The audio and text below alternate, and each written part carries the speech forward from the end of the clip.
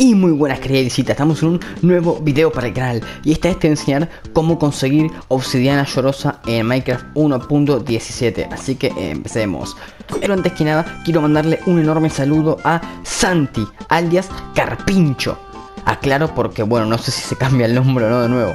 La razón por la que quiero saludarlo es porque hace un tiempo ya había hecho que los que se unan a Clash Royale, a mi clan bueno básicamente, lo dije por el Discord para que no estén enterados dije que lo iba a saludar en el próximo video. Solo se unió Santi, así que Santi recibe saludos. El primer método son estas ruinas viejas y abandonadas, ya que tal como ven ahí hay arena llorosa. Como las reconocemos, van a estar así, como un portal roto con cosas de el Nether alrededor suyo y hay un cofre con loot adentro de ellas. Estas pueden aparecer en literalmente cualquier parte del mapa, incluso cerca de las aldeas, es la verdad bastante random, así que es simplemente buscar. El segundo método son los cofres que se encuentran en las bastiones, un tipo de fortaleza que está en el Nether.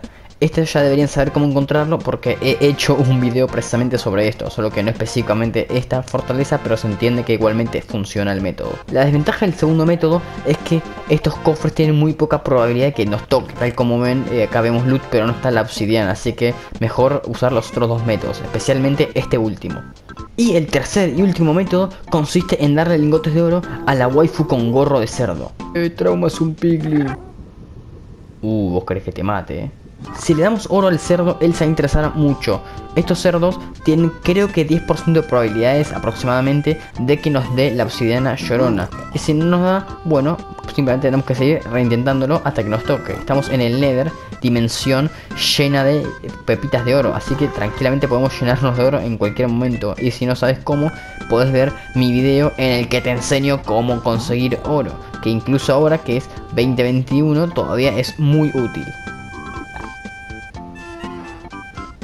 Y mira, al tercer intento. Espero que el video les haya gustado. Acuérdense que el que quiere puede dar like, puede suscribirse y puede apoyar a la comunidad de Trauma. Especialmente porque ya casi llegamos a los mil suscriptores. Uy. Así que un saludo y nos vemos en el próximo video. Esperando que el próximo video de formato largo, que no sea de un minuto como los YouTube Shorts, eh, ya esté directamente en los mil suscriptores. Tengamos fe, tengamos fe. Muchas gracias por todo. Así que nos vemos en el próximo video. Eh,